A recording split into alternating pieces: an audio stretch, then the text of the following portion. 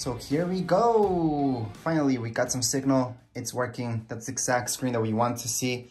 And yes, that's your verification code. So you can set this up. It's gonna be so easy to transfer everything. And even if it's your first setup, make sure to make that Microsoft account before you even begin with anything. Microsoft account is extremely easy. Just need a Hotmail. And that's the easiest way really to set everything up. So as mentioned before, we did download the Xbox app. We're gonna open it up. What I'd suggest doing is not choosing the option to set up a new game console, just sign in first. So right here, you're gonna see the option to sign in. So just sign in first and you're gonna see that setup option later on as well. So right now it's gonna ask us if we want to sign in and just click on continue. At this point, we're gonna see this, sign in. Just put your email, then just go to next, put in your password, and you're pretty much done. So right now it's just signing me in. Of course, I did have to verify this throughout my phone, not just throughout my tablet. And right now, you just have to set this up.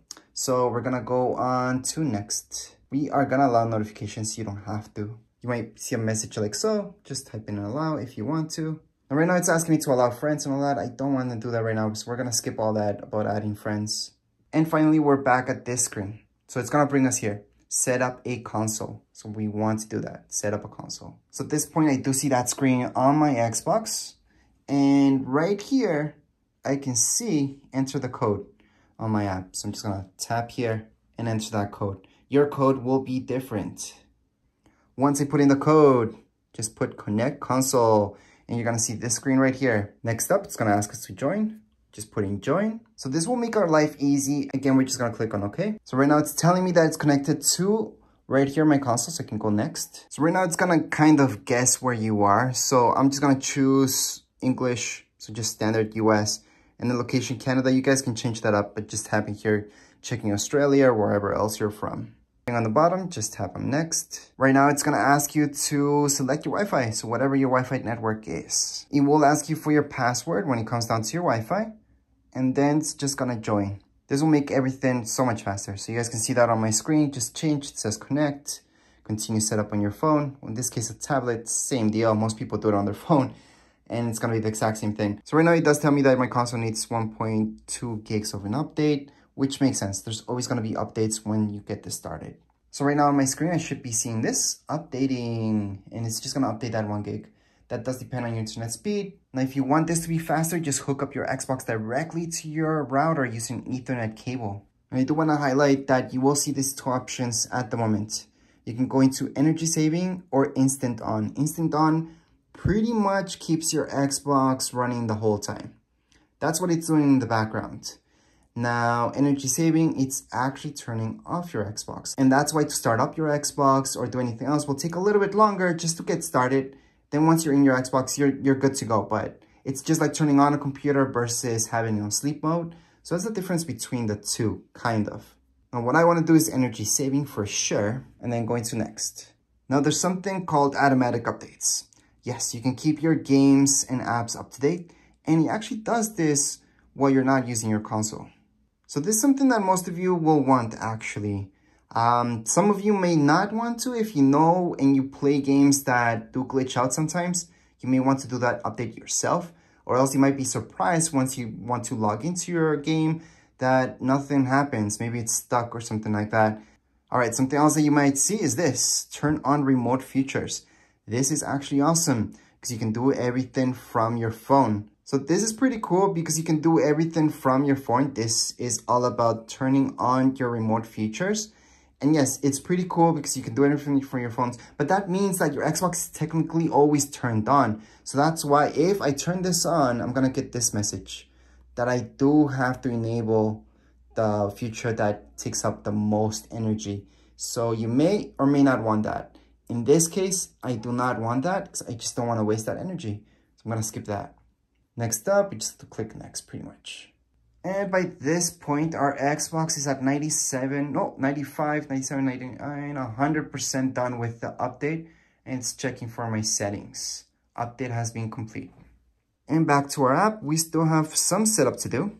And this part really becomes all about, is this Xbox being used just by you, by somebody else, or your whole family? So if it's used by everybody, I would do the third option, lock it down. So you always need sign in in order to do anything. However, if this is just you and nobody else is to touch it, go ahead, no barriers, go for it and go into next. The next part is about automatically being signed in. And I actually don't want that. I want that because I just have the one account.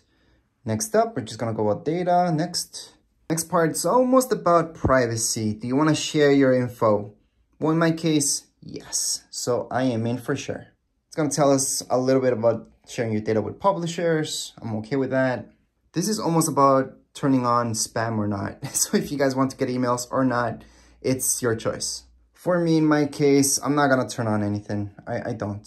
Next, it's gonna ask us about apps that we want on our console. Let's just keep going to next. Next up, it's gonna ask us what which apps we want in your console. We're just gonna skip this for now. And now comes the fun part, because this is if you have another Xbox, this will detect.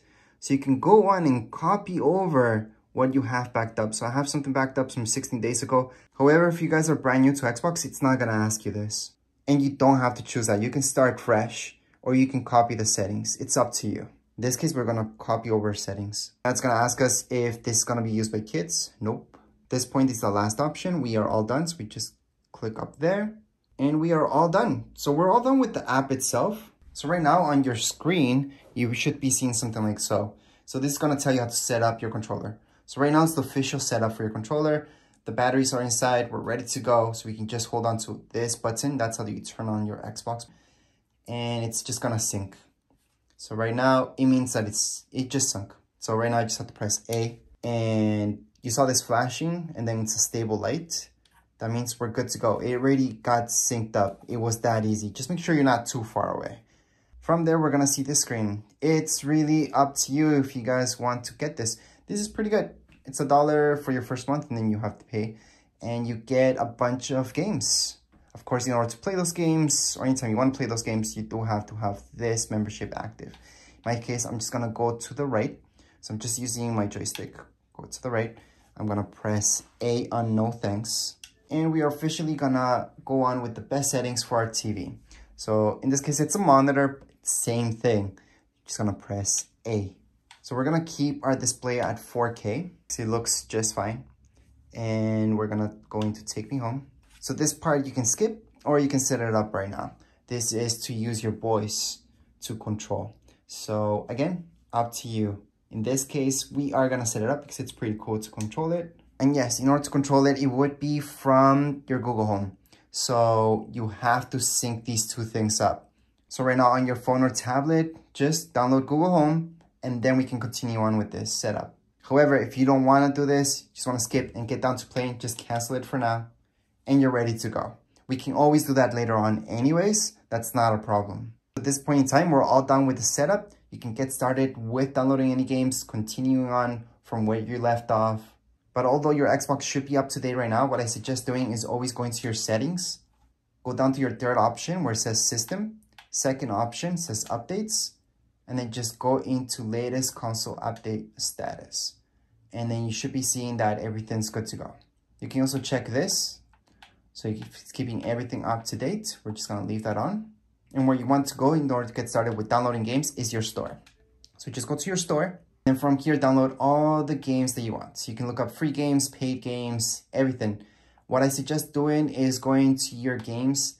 Then from here, just going to top free if you want to look for those free games and just keep downloading them. Some you may see that you need Game Pass, others you will see that you don't. Now the ones that you own will say own right there because you have your account. If you're brand new to this, you will not see own on everything, on anything. But anyways, as far as this goes, we are all done. If you guys have any questions, comments, you guys can write down here in comments area. Don't forget subscribe and rate. Thank you.